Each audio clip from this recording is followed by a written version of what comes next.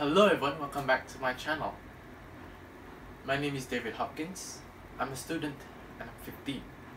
Welcome back to an episode of VidVlog.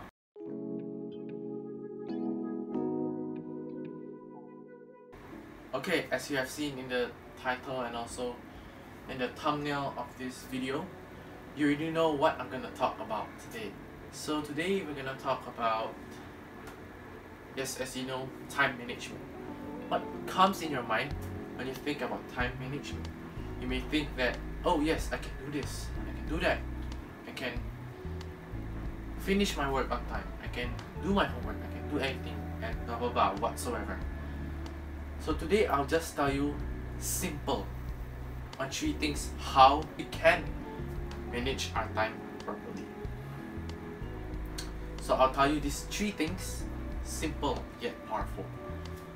Okay, so yeah, let's get straight like into it. Let's go to number one.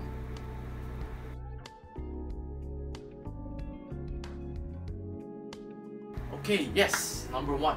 You may think, how am I manage my time? How can I manage my time? Why is it so hard? I've done a research that even most adults, okay, most adults can't even manage their time. I've done research. Now, I'll tell you number one. Number one is have your goals. Have your daily goals. Okay? Know what are you doing today. Before you sleep at night, maybe you think, oh, tomorrow I have maybe, for example, if you're a student, I have class. I'm a student. But so we have class, for example, art class, math class, probably uh, science class, physics, or what. Prepare. Know what are you going to do tomorrow. Don't like the morning wake up, come tomorrow and you're like, oh what? What's today? What's the agenda today? I don't know.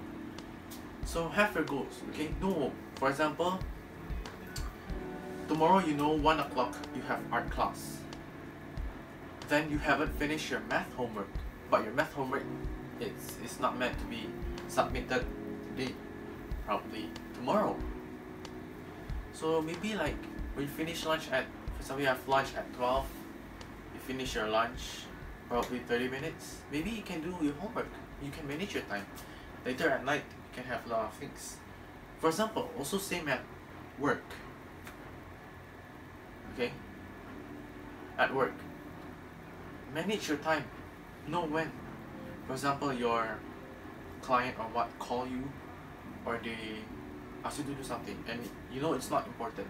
Then do that is only important. That's why plan your goals. Know what are you doing today. Don't just come in the morning and think, oh what I have what I have what. Know your meeting. but we put a calendar or have a note by yourself. Okay? Number one, think your goals. Have daily goals. Okay?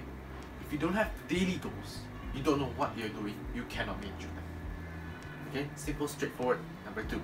Let's go.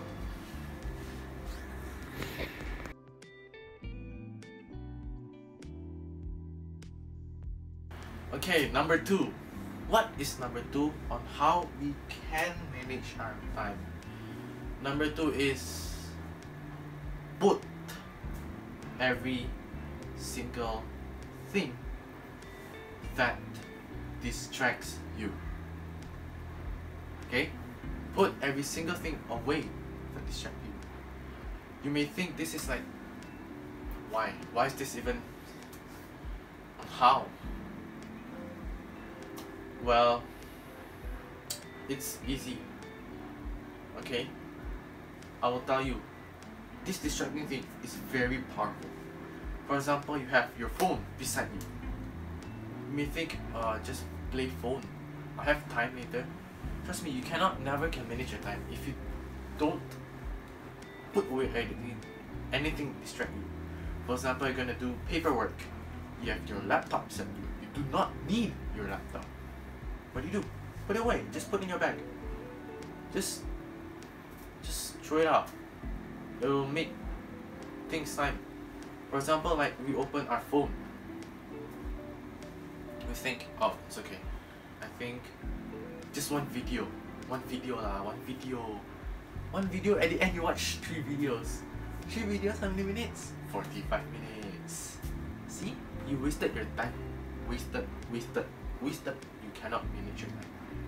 That's why have your goals and then put away anything that distracts you. Your phone, your PC, your PC, yes, your laptop, or anything.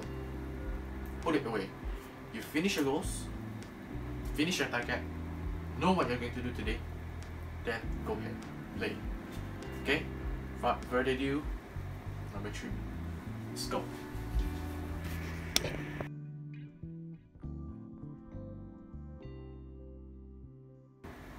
Number three, the last one, and I think it is important. Okay? What is number three? Number three is be optimistic. Do your best. Don't be pessimistic. Don't be. Don't like feel like oh I cannot do it.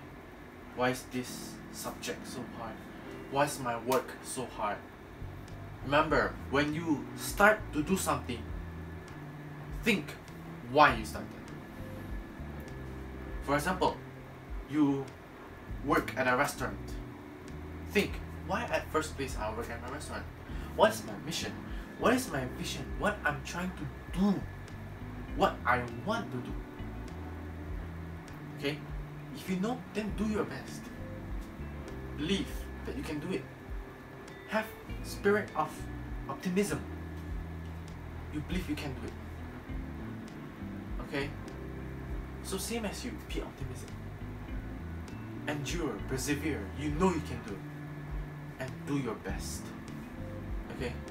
Don't give up. Trials are just you believe me, you can do it. Okay? So remember these three things that I've told you today. First is set your daily goals. Number one. Number two, put every single thing that distract you. That's number two.